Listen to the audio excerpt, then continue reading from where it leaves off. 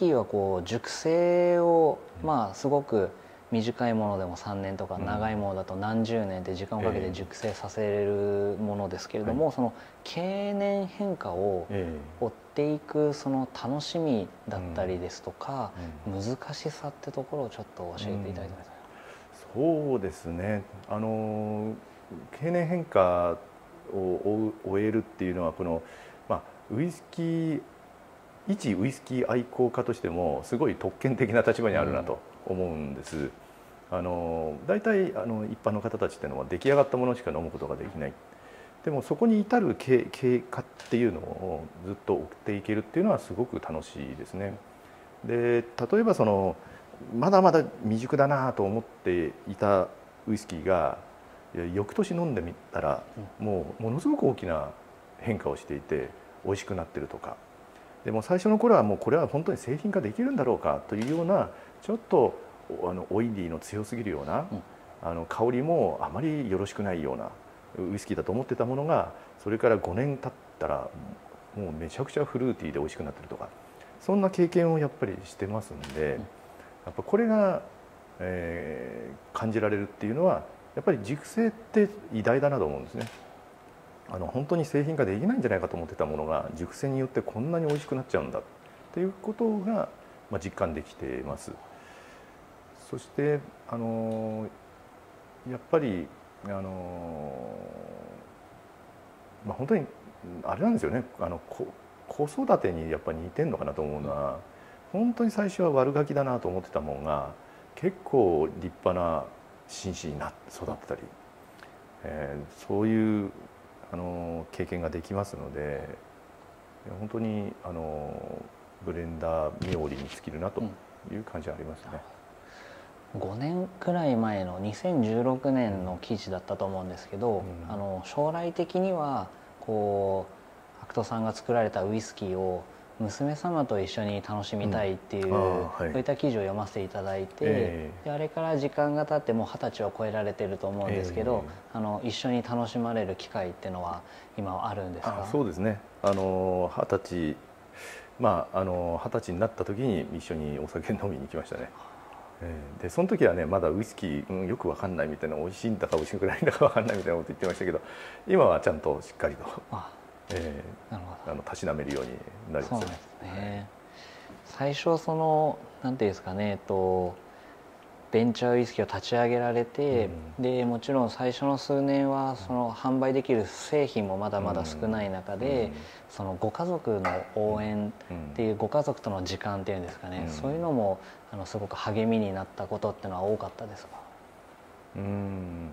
まあそうですね。そういう部分もありましたけど、まあ、あの一番ありがたかったのはそのこの仕事あの最初はこの仕事を始める時にあのいやあのコツコツとあのサラリーマンというかあの人手に渡った会社であってもそこで働き続けた方がいいんじゃないのって言われたんですけど、はい、あのもうその時だけですね。あのあとは一切あの口出ししなかったんで、はい、あのまあ、ほっといてもらえたのが逆に良かったなと。なるほど。もうウイスキーのことだけに邁進させてもらえた。それがもう何よりの応援ですよね。うん、そうですね、はい、支えてくれるっていうのが、うん、なるほどなるほど。ありがとうございます。でですねえっとこうそういった、えー、今ではこうやはりイチローズモルトっていうともう世界的にも有名なウイスキーになって、うん。でこう世界的にも有名な賞もこう肥土さんご自身が取られたと思うんですけれどもそれでもこう、心持ちとしては今も変わらずこうウイスキー屋の親父ってこうたまにこういろんな雑誌で言われてますけど、その心持ちっていうのは変わりはないんですか？そうですね。多分これは一生変わらないんじゃないかなと思いますね。はい、でもこう周りの方がすごくなんていうんですかねこうまあ、持ち上げてくれるって言い方が正しいかどうかはあれなんですけどもこう例えばメディアとかだとそういうふうに言われる機会も多いと思うんですけどもそれでももう変わらずっていう感じなんですね。うん、まあ逆にウイスキー屋の親父だから親父だったからこそ、うん、まあ、今があるからあのそのままでいた方がいいんじゃないかなと思いますね。今も変わらずこうお好きなバーとかはよく行かれるんですか、うん、まあ、そうですね。もうほぼ毎日。あ。の秩父にも実はバーが結構ありましてですね、はい、まああの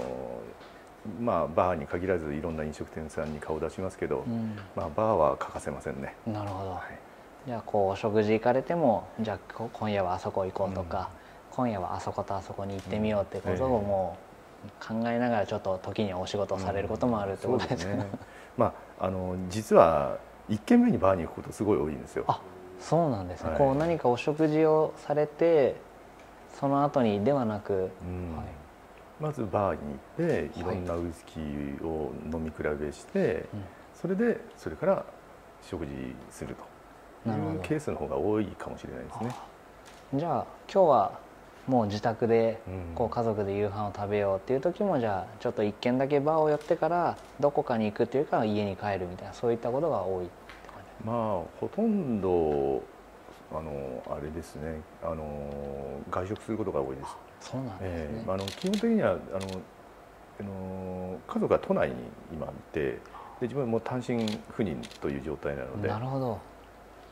なるほど。じゃあちょっとあれですね。もう本当にいや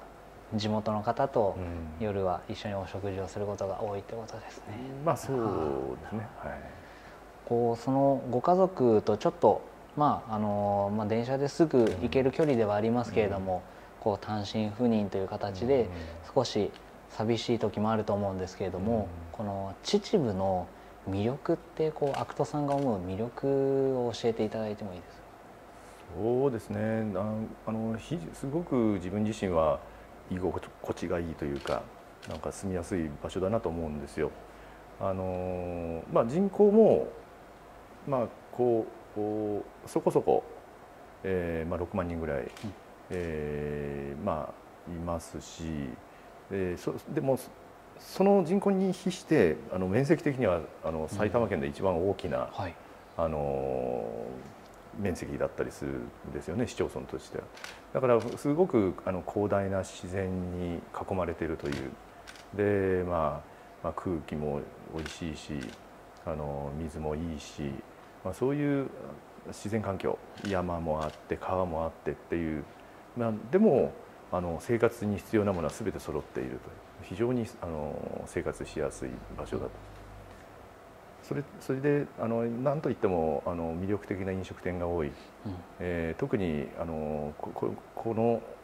このこのような片田舎でありながら、まあ素敵なバーも、えー、何軒もある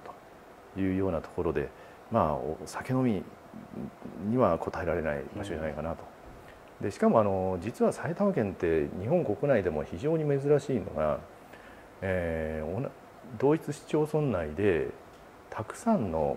あのお酒が作られてるんですよ。あ確かに。こう、ビールとかも有名ですし、はい、ワインね焼酎だったりそして、えー、最近は蜂蜜酒のミードっていうのが作られ始めたり、うん、で今ジンを作ろうとしてる人もいるしでもちろんウイスキーもあるとい。うことで、はい、いろんなお酒があの秩父産のお酒っていうのが生み出されてる地区なんですよね。うん確かになんかこう東北の方とか行かれるとお酒造りは盛んですけれども、うん、日本酒だけとかなんかそこが有名なっていうのはありますけれども、うん、それだけ多くのお酒作られてるっていうのはかなり珍しい場所なんですね。すね。はい、なるほど。